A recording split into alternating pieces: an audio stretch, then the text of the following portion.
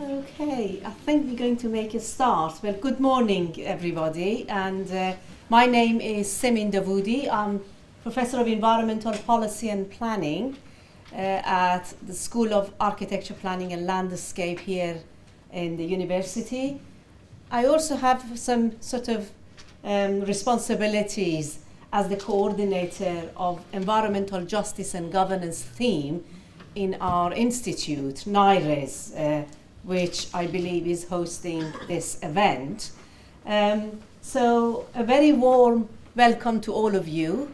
Uh, welcome to Newcastle City if you're coming from elsewhere, and I know that some people are coming from outside the city. And also, welcome to the university. And I'm very sorry that we couldn't manage the weather for you.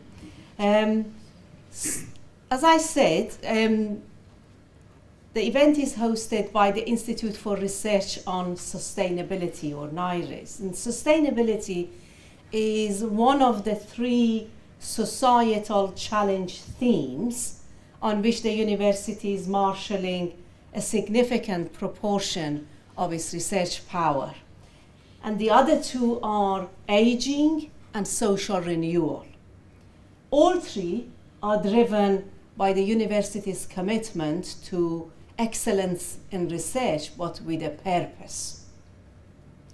NIRES coordinates sustainability research across disciplinary boundaries.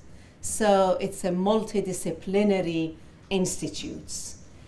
And it does that to deliver practical, engaged solutions to real world problems and real world societal challenges we do that under the banner which was introduced by the previous director of the institute and we, everybody is very happy including the current director professor phil taylor under the banner of enough for all forever. Obviously we can discuss that for a long time. But what i wanted to say is that one thing which is putting such an aspiration enough for all forever uh, at risk is climate change. And as I'm sure this audience knows very well, the latest scientific evidence from the IPCC report has left very little doubt about the urgency of the need to reduce greenhouse gas emissions. In the UK, we have a long term and legally binding framework under the Climate Change Act of 2008 to do so and to uh, actually reduce our emissions by 80% by the middle of this century is a very, very ambitious target. And on top of that, we have another legally binding EU target to source 15% of our energy from renewable resources. There are, as you know, a raft of policies and initiatives which have been put in place to achieve this ambitious transition to low carbon economy. One such initiative is the growing number of community energy projects, which is the focus of today's workshop. Community energy projects not only help the country to reduce its carbon footprint, it also reconnects communities to their energy.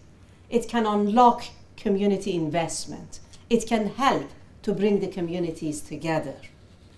They can enable communities to benefit from local renewable resources, provide a sense of control and ownership of their own energy supplies. So its benefit is not just environmental, but also social and also economical for those who benefit from it.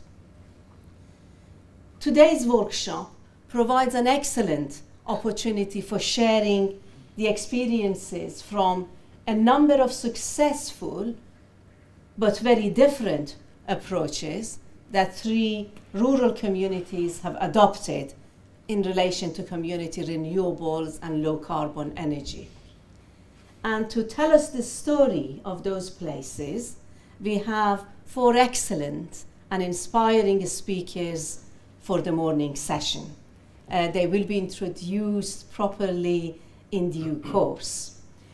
And in the afternoon session, there will be four parallel workshops, each of them focusing on a particular themes. The workshop in particular provide a good opportunity to discuss some of the issues that are going to be raised this morning and they also provide an opportunity to exchange ideas and probably more importantly explore possibilities for future events and future research and networking. So that is all I've been asked to do. I hope you find the day stimulating and enjoyable.